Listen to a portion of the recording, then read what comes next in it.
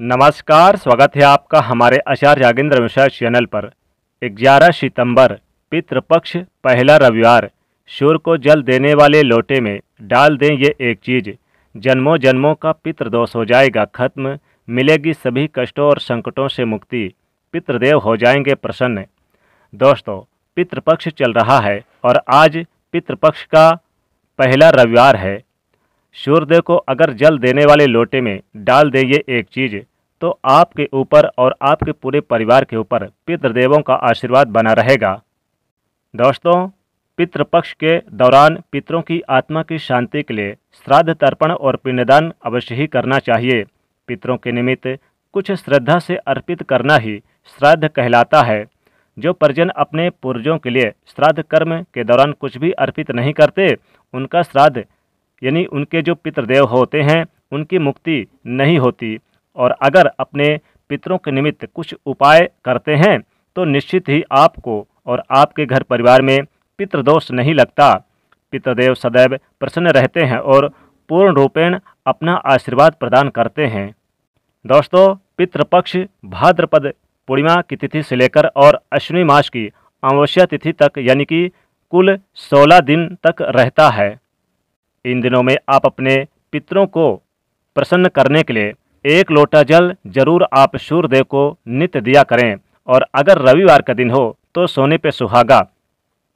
क्योंकि रविवार के दिन सूर्यदेव को जल देने से पितृदेव सदैव प्रसन्न हो जाते हैं और सूर्य भगवान की भी कृपा बरसती है। दोस्तों, सूर्य को सर्वती साक्षी भूतम कहा गया है। सब कुछ देखने और सुनने वाले देव सूर्य, जो प्रत्यक्ष देव हैं। उनको अगर पितृपक्ष के दौरान रविवार के दिन उनकी पूजा करें, सूर्यदेव की, उन्हें जल अर्पित करें। तो सूर्यदेव का आशीर्वाद तो प्राप्त होता ही, साथ ही साथ आपके जो पितृदेव होते हैं, उनका भी आशीर्वाद प्राप्त होता है। हमारी मनोकामनाएँ अतिशीघ्र पूरी होती है, लेकिन सूर्यदेव को जल देने का एक तरीका भी है। पितृपक्ष में जब आप सूर्यदेव को जल दें तो विशेष नियम और जो इनके नियम होते हैं, उनका पालन भी करें। सूर्य को पिता का कारक और आत्मा का कारक और मान सम्मान का कारक माना गया है। साथ ही साथ पितृपक्ष के दौरान पितरों का निवास भी माना गया है। सुख समृद्धि देने वाले सूर्यदेव अगर इन्हें पितृपक्ष के दौरान सही तरीके से आप रविवार के दिन सूर्य को जल दें तो कुंडली के जो पितृदोष होते हैं, वो सारे दोष समाप्त हो जाते हैं। सूर्य का दिन रविवार दिन है। रविवार के दिन अगर सूर्यदेव को रविवार के दिन अगर कुछ विशेष वस्तु अर्पित करें तो आपके जीवन के जो पितृदेव से संबंधित कष्ट हैं, वो कम हो जाते हैं। सबसे पहले तो जान लें कि पितृपक्ष में रविवार के दिन सूर्यदेव को जब आप जल अर्पित करें तो तांबे का लोटे का ही यूज़ करें। या फिर आप चाहें तो पीतल का लोटा, लेकिन प्लास्टिक और कांच के बर्तन का भूलकर भी इस्तेमाल ना करें। इस बात का विशेष रूप से ध्यान रखें। सूर्य को जब आप जल अर्पित कीजिएगा तो उसके विशेष प्रयोग होते हैं, विशेष तरीके होते हैं।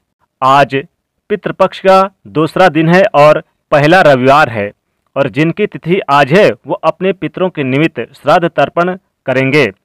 किसी पवित्र तीर्थ नदी में, सरोवर में स्नान करें, या फिर अगर नहीं कर सकते तो फिर घर में ही गंगा जल डालकर और थोड़ा सा काला तिल डालकर ज़रूर स्नान करें। फिर आप क्या करें कि आप खड़े होकर शुद्ध जल ले लें। शुद्ध जल आप एक तांबे के लोटे में ले लें और साथ ही साथ पीतल, अगर तांबा नहीं है तो पीतल का लोटा ले लें। सूर्यदेव को आप, यानी कि सूर्यदेव की तरफ़ अपना मुख करके, आप यानी कि अगर आप सूर्य उदय होते समय सुबह दे रहे हैं तो पूर्व दिशा की ओर सूर्य की तरफ़ आप अपना मुख करके और पितरों का स्मरण करते हुए सूर्यदेव को आप एक लोटा जल दें। और इस एक लोटे जल में आप काला तिल ज़रूर डाल लें। दोस्तों, पितृपक्ष के दौरान रविवार के दिन सूर्यदेव को जब आप जल देंगे तो काला तिल डाल के ज़रूर दें। दोस्तों, ऐसा करने से आपके ऊपर सूर्यदेव की कृपा बरसेगी, साथ ही साथ पितृदेवों की भी कृपा प्राप्त होगी। पितृपक्ष में करने, पितृपक्ष में रविवार के दिन करने वाला ये बहुत ही आसान और असरकारक उपाय जो हम आपको बताने जा रहे हैं। इसे आप ध्यान से सुनिए, क्योंकि अगर रविवार के दिन आप यह उपाय करते हैं तो निश्चित ही आपके ऊपर सूर्यदेव की कृपा साथ साथ पितृदेवों की भी कृपा प्राप्त होगी। दोस्तों, इससे आपके पितृ प्रसन्न हो जाते हैं और जन्मों जन्मों के पितृदोष भी समाप्त हो जाते हैं और सभी कष्टों और संकटों से मुक्ति मिल जाती है। अगर आपके कुंडली में पितृदोष है, या फिर आपको लगता है कि जैसे पितृदेवों की कृपा आपके घर परिवार में नहीं बन रही, या फिर आपके जीवन में नौकरी व्यवसाय नहीं चल रहे हैं वैवाहिक जीवन अच्छा नहीं है तो आपको ये उपाय ज़रूर करें। पितृदोष से भी छुटकारा मिल जाएगा, साथ ही साथ काल सर्प दोष से भी छुटकारा मिलेगा, ग्रह पीड़ाओं से मुक्ति मिलेगी। दोस्तों, इस उपाय को सही तरीके से करने के लिए आप हमारे इस वीडियो को पूरा अंत तक ज़रूर देखेगा।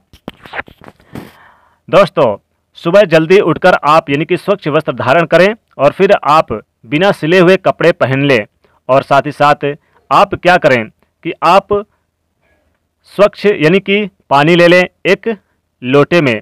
लेकिन इस दिन जीन्स का पैंट बिल्कुल ना पहने, इस दिन धोती कुर्ता ही पहने।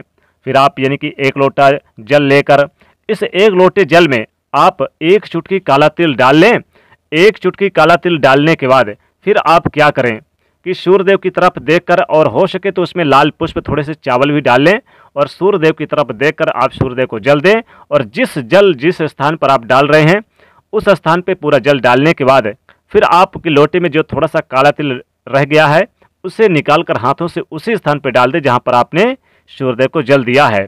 दोस्तों, रविवार के दिन सूर्यदेव की पूजा करने से पितृपक्ष के दौरान जो आपके पितरदेव होते हैं, काफ़ी प्रसन्न होते हैं, अपना पूर्ण आशीर्वाद देते हैं और जन्मों जन्मों के कष्टों को मिटा देते हैं।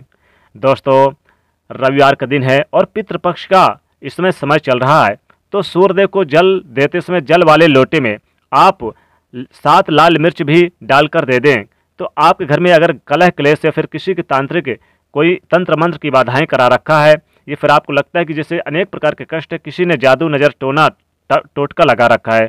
तो सात लाल मिर्च के दाने डालकर आप एक लोटा जल सूर्यदेव को दे दें तो घर से ग्रह पीड़ा और साथ ही सभी कष्टों से मुक्ति मिल जाएगी।